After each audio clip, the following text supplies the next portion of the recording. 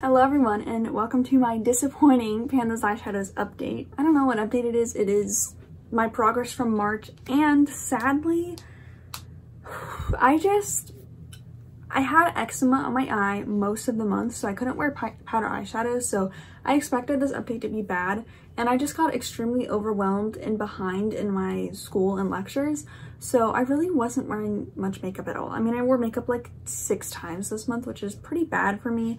I'm gonna try and make next month better, but I also want to adjust this project a little bit to make it better working for me because I realize as a student, I'm not necessarily forced to wear makeup. I mean, no one's forced to wear makeup every day, but I'm sitting at home and there's really no reason most days that I need to go put on makeup. So if I do put on makeup, most of the times I want to play with something fun, so I don't want to restrict myself with this project because the whole point was to just fall back in love with palettes, but I almost feel like when I put something in a project, I feel kind of like turned off by that palette and I don't even want to use it. Like some of my favorite palettes are in this rotation and I don't even want to reach for them because they're in here, if that makes sense. So I want to adjust it a little bit. It's like everyone's project is their own way and also it's going to change for me in the fall when I go back to in-person classes. I don't wear super dramatic makeup so it's gonna have to change a little bit but for right now I'm going to make minor adjustments but let's get into my progress. The first palette is the ColourPop Mandalorian Right Hand Mando shade. This palette has been in here from the beginning and I'm finally just deciding to roll it out. I used it 12 times. I didn't use it last month, but I just am not in the mood for these colors right now. It's this gray right here. I did really enjoy having it in here and I could force myself to wear it, but I'm just not in the mood for this color story. I still really like this palette and I like that I have a little bit of dip on that shade and I did really fall in love with it and got to do a bunch of looks with this palette, but I'm just, I'm not feeling like reaching for it anymore. I used it 12 times, which is good enough for me. So I'm going to roll it out. This is what it looks like. I mean, I literally didn't, I didn't use it this month, but I have a little bit of a dip, nothing crazy. I don't have pan, but I'm just going to roll it out just because I am kind of over it and it's my project and I decided if I'm over a shade or a palette, I am just going to roll it out. Next is the freaking Natasha Denona Tropic palette. I've used this shade 10, 20, 32 times. It has no progress and from this project I just realized I'm just super light-handed with my shadows and if I wasn't I think I would have already hit pan on this. I just am so light-handed. I literally just like baby tap and that's it. This is what it is looking like. You can see like maybe the smallest dip but mainly just like see marks from my brush. There is really not much of a dip in here and this palette is going to last me forever. But I just, I'm just rolling it out. I've used it 32 times, which I said I would let myself roll it out after 30 times, which I can roll it out whenever I want but 32 times is a lot to use that one shade. I mean, it was a matte brown, but upon using it, it's a lot more like warm and yellow than I thought, so I haven't been loving it with all of my looks. I could keep it in, but like it's been in here since January. I've used it 32 times. I'm ready to roll it out, so was a nice shade. I'm glad I got my use out of it, but man, these shadows are so hard to pan. So I am going to roll that one out. And then the next two shades came from my Pat McGrath quad. And this is where the disappointing stuff happens. The pink shade I used one time and the light shimmer shade I used twice. This is my Fleur Fantasia quad. And this is the case where this is one of my favorite palettes, but because it's in this project, I have not been drawn to use it. So it's this pink shade right here, which I mean, you can see that my finger's been in there and I have now used this twice, so I doubled my use on it. And then this light shimmer, I actually don't love on the inner corner. And yeah, so really bad usage on this. I still think I will get use out of this palette. Um, I've been loving using that purple whenever I pull for this because it's springtime and I think I will use it more. I like this light pink shimmer, but I don't really love this like champagne shimmer. I don't know. I don't really love it. So I think I'm just gonna roll this one out. It's not that I won't reach for it. It's just like, I'm only gonna use it when I reach for this quad. So I probably will see progress in it. I just, it's kind of a weird shade. It's not my favorite. It's like a champagne pink shade that I don't really know how to describe. I don't know. It'd be pretty as a highlight, I guess. I put it really sheerly. Actually, whatever. I'll keep it in. Um, so I will just keep it in because I'll just force myself to do makeup more. It is a pretty shade and I literally haven't used it enough to give a thought on it. So I'm going to keep those two shades in and I will swatch them really quickly. So this is the light shimmer shade. It looks like that.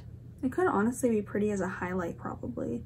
And then this is the pink shade, which is a little bit more impactful. And it's a little bit more sheer in its base. Really pretty color. What I did with this palette was I put this peachy shade in the crease. I put this shimmer on like from the middle to the outer edge of my eye and then the lilac on the inner portion of my eye and then just this shimmer on the inner corner. I don't know why I'm struggling with talking, but it was so pretty. I, I copied that look from my friend Jessica's beauty journal on Instagram and it was so pretty and I really liked it. So I do want to reach for this more for spring. So I'm going to keep that one in there. And then the next palette, where did it go? The next one is the Natasha Denona Bronze. It's the shade Alloy, which is a bright yellow. I used this one twice. Um, I did use it on its own once and then in conjunction with the shade Bliss. Um, and it's like a really bright yellowy shade. I honestly think it might be pretty doing some look with these two shimmers together. I'm going to keep this one in because I do still want to use the bronze palette more. I just need to wear makeup more because when I put it in the project, I'm like, okay, I don't want to reach for this palette anymore. But I do want to and I want to find how I can do a very approachable like looks with this palette because a lot of the times when I use this, it becomes very like glam and dark and intense on my very fair skin. So yeah, I want to try using this palette more. It doesn't have much use with two. I have like the little finger imprint in there. You can see it like on some of these shimmer shadows, but Alloy is a pretty soft shade. Um, I'm going to change my usage to 10 for all of these shadows because it's a lot better for me while still getting to use other things. I'm not this type of person where I want to do the same thing every day. I used to be when I wore barely any makeup, but now that I'm doing looks, I just want to do different things. So I'm gonna I'm gonna do 10 and see how that works for me. But that is what the shade Alloy is looking like. Really no progress there, but I just want to get a nice dip going and I think I will get a nice dip with 10 uses. So I'm going to keep that one in, which means time to roll for two new shades. I added two palettes to my collection, of course. Um, these were on sale from Viseart, so I added eight shadows in and so I have 1 through 193. It might be a little messed up because I did do a declutter and I didn't update the spreadsheet so I'll just see as I go. So the first number is 85 and the second number is 138. So let me go check and see what those are. Okay, so 138 was from my Natasha Denona Love Palette and I think I'm going to re-roll this one because it's the shade Trust which is a really deep purple and I it's just not a shade that I can wear easily for every day so I'm going to re-roll that one although I got really excited because I do love this palette. And then 85 is from my Makeup by Mario palette. So I got the shade 8, which is this one right here. And I'm actually just gonna pop it to number 4. I know it's against the rules, but it's the same palette. And this one will be a lot easier for me to use for every day. I think it's gonna be a good replacement for Natasha Denona Sahara. It's just a good neutrally brown color.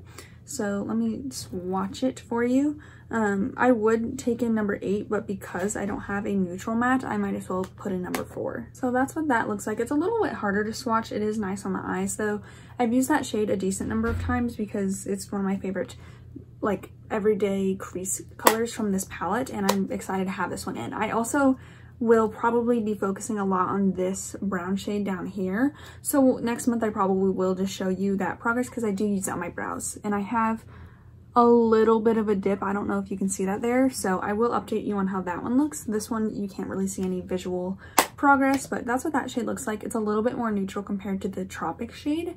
So I think that'll go beautifully with these shades. And then I re-rolled and got the number 158, which is from my Divine Rose 2. I don't know why I grabbed Divine Rose 1. And I actually haven't used this one that much. So I'm excited to have this one in. And it's this one right here. I need to swatch this to make sure it's, do you hear this annoying creakiness out of this $130 palette? Um, it's that beautiful, you can't even tell. It's like a beautiful, reflective, like, it's like a fairy dust toppery shade. So that'll be so pretty. I think then I do want to re-roll the graph at the top. I know I'm cheating all over the boards, but I, yeah, I just, I'll probably still use it every now and then, but it's very similar to the Pat McGrath one I just rolled, and I'm more excited for this one, especially because I haven't used this palette much, and I got it pretty recently, and it was freaking expensive, so I hate the freaking creaking on here, but I am gonna roll a new one for that top shade. Okay, and then I rolled again, and I got a shade from my Natasha Denona Gold palette, which is another new palette that I need to get use out of, and I got the shade Teak. Let me see how this compares, but it's like a darker brown, which I think will actually be nice to use. It looks so much darker swatched than it does in the pan. This is what it looks like in the pan. It's this one right here, and it's so much darker but I think that'll be pretty to use in the outer corner with the Makeup by Mario palette. I kind of did a tiny little swatch, but it just is like a nice deepening shade. It'll go with really every look here. Um, I could always use it for a winged liner, but I think I will just use it in the outer corner.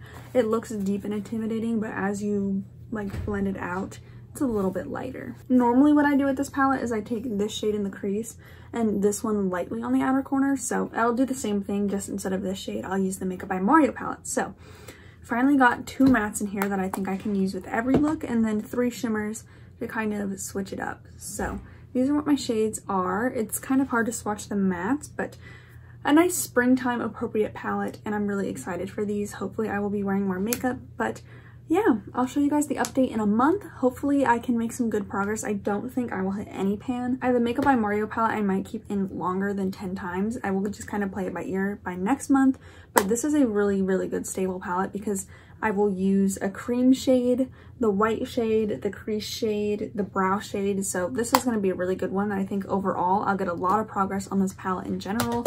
And then I have two new palettes that I can play with and then one other that or two other that have been in my collection that need a little bit more love. So really excited for this update minus my little cheats. So I hope you guys enjoyed this video. And again, I have a playlist if you missed my other ones and you want to see those. I do have a few pans in those other videos, but thank you guys for watching and I will see you in my next video. Bye.